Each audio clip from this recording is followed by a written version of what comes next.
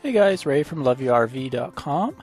Well, since our last, uh, my last video at Fort Stevens, way up here on the Washington, Oregon coastline, um, we've been making uh, some serious tracks south, 652 miles all the way down into California near Sacramento, and we're staying at uh, the Cache Creek Casino.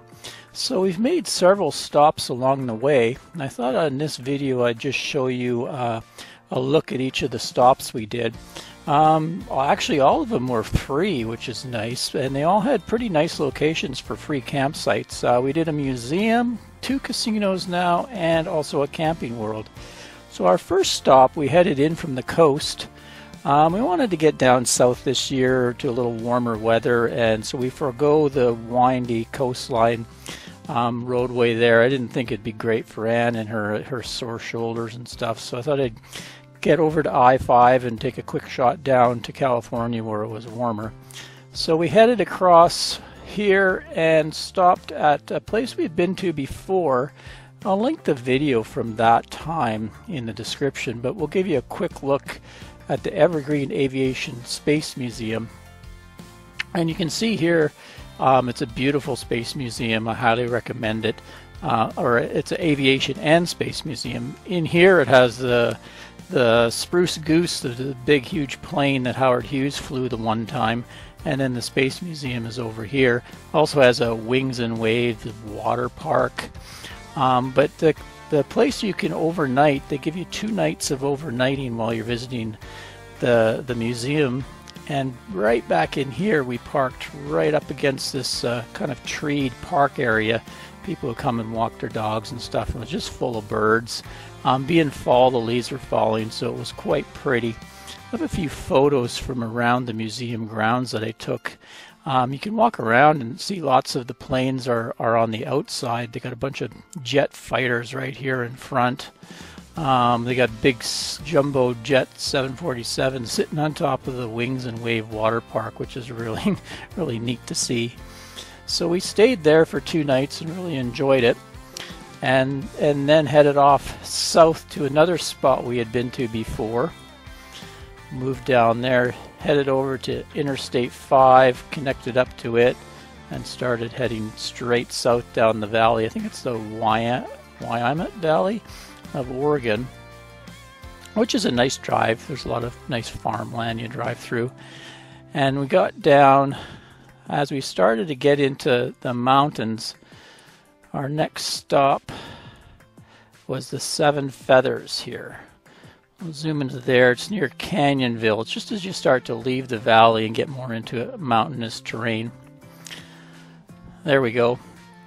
It's a, a nice big casino complex. On this side over here, they have a uh, truck stop, a big fuel station, really probably some of the lowest price fuel along the way that you can get. And the camping is they do have actually a big fancy RV park right in the back here. It's really high end, has a pool and everything. But if you're just into overnighting like we were and some cheap camping, back here they allow five days in this back dry lot here. So we parked in behind a tree here, and again, pretty nice view into some farmland, lots of birds around. A little noisy because you're close to the, the interstate and the truck stop and that, but uh, no problem at all. We had a good good stay there. Then we moved on. This was the the biggest drive of our of our journey down here. We left there and we went over um, the Siskiyou Pass and over near uh, Mount Shasta.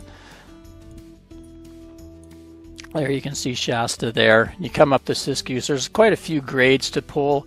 Um, no problem for our new truck at all. We were up and down those without with just a breeze. Towing's great with that new truck, so not a problem there.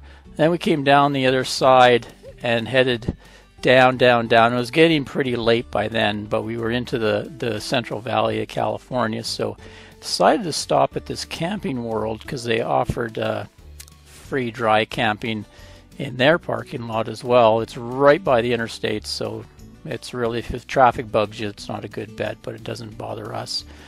And you can see right in here, so we camped right in this parking lot space here. They do have some hookups over here. I think they have two spots where they have some full hookups, but because they use this area, you have to be out of there before 8 a.m. They said, um, but over here you, you could, it was okay. You could stay there longer. So we we camped overnight there, and uh, got up fairly early in the morning and continued on. And that's where we went down to the Cache Creek Casino that we currently are. So this is straight down Interstate 5. Not in here, the traffic's not very bad. There's no major cities at all, so just a lot of fairly flat, um, boring travel, but you got to do it. Get down here to this Cache Creek.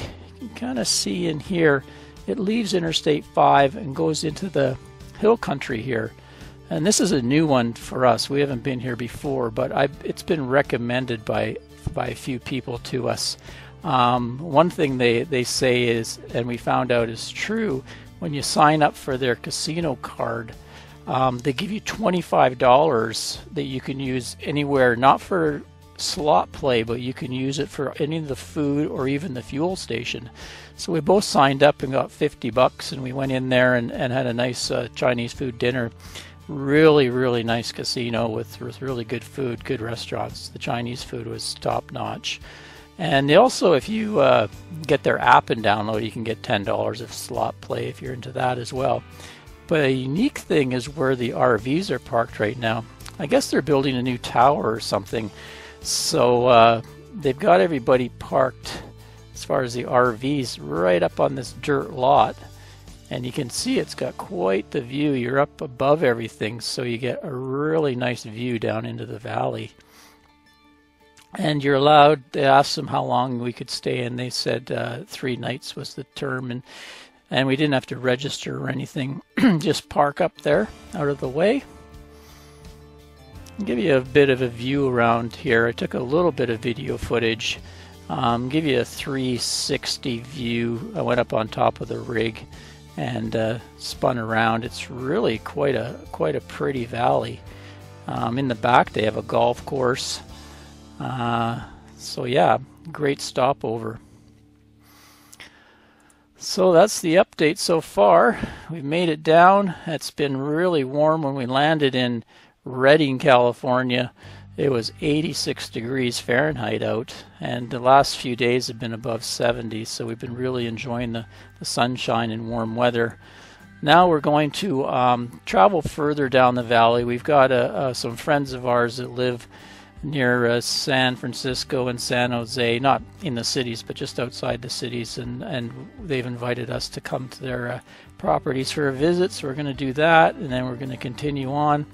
Should be in the desert sometime towards the end of the month, and uh, we've got a stay booked at a, a pretty nice place. Uh, looking forward to that. We're going to go down into Death Valley and stay there a week. So you can look forward to for a video from that. I'm also getting a few items sent to me for review, so we'll, we'll get off the travel portion of it for a while and maybe review a few items and give you a few tips videos. Until next time, Ray from loveyourRV.com. Thanks for watching, everyone. Cheers.